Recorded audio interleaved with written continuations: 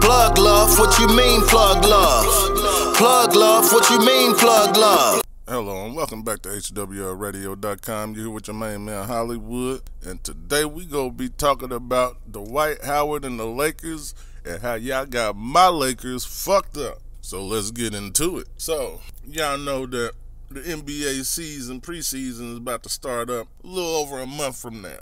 So I want y'all, I'm just getting on here to tell y'all that I will be the official Laker after post game motherfucking you go hear me, you go hear the highs and the lows through this whole season, which I predict to be a lot of highs because this is what y'all fail to realize. Yeah, Boogie Cousins can dribble and you know, he got different different little shit, but at the same time, you can't count out Dwight Howard. Y'all forgetting this man was a defensive player of the year. Anthony Davis was a defensive player of the year them two are gonna be down there in that paint bot. Who the fuck is gonna really be getting up shots and, and, and, paint numbers like that on the Lakers anymore? This is a whole new beginning, man. This is like who was the Lakers last year? Yeah, we knew LeBron was on there, but like who the fuck were they compared to the Lakers that's about to come out and represent for LA this year? Now, I ain't from LA, but damn it, I'm telling you, the Lakers is where it's gonna be. That's where a lot of these motherfucking NBA parties is gonna be at.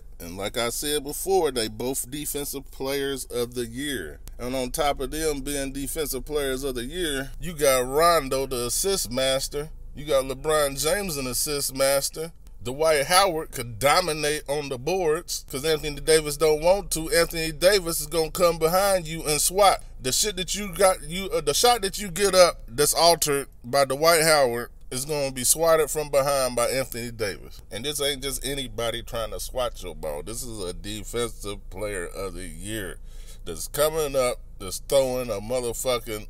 It's like a cheap shot because you don't even see him coming, but this motherfucker about to throw the shit out of you. And then on top of that, I think DeMarcus Cousins' injuries come a little faster than Dwight Howard's. So that there is also another plus. So like people just act like we just fell out of graces because because uh, Cousins got hurt, and if they keep Cousins through all this, which we let the shit die down, and you know let him just be himself, but can you imagine that? They got a Dwight Howard and a Cousins as a center. You just ain't gonna be able to go through that shit like that. We would play a pickup and motherfucker like somehow they magically got DeMarcus Cousins and Dwight Howard on the pickup, and y'all playing five on five.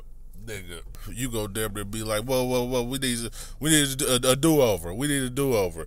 Like somebody got to pick one of these two motherfuckers uh, first. But just wanted to get on here. This is a forewarning that every time you see a Lakers game, any damn thing, I'm gonna be on this motherfucker after. So look forward to it.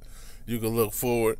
By then, I'll be going live, so you can look forward to coming in, you know, hating you can look forward to coming in, congratulating, joining us, joining in with us on the celebrations that we about to be having through this season. You're gonna get about 50 motherfucking wins. So I ain't gonna be motherfucking out here mad too much, but fair is fair because I'm gonna be picking on y'all when we win. Y'all can pick on me when we lose. But at the same time, I just want you to be prepared for what comes back because I'm always gonna come back, motherfucker, whether they losing or winning or not.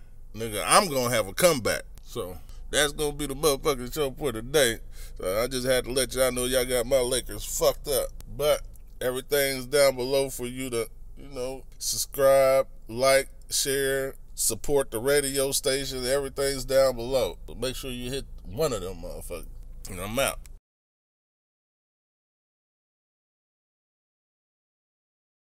Going on. Yeah, bitch. I'm focused on feet. Who fucking with feet?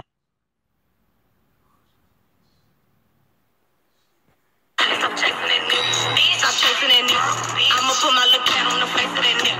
Then I'm replacing that nigga. For a bag and they mad.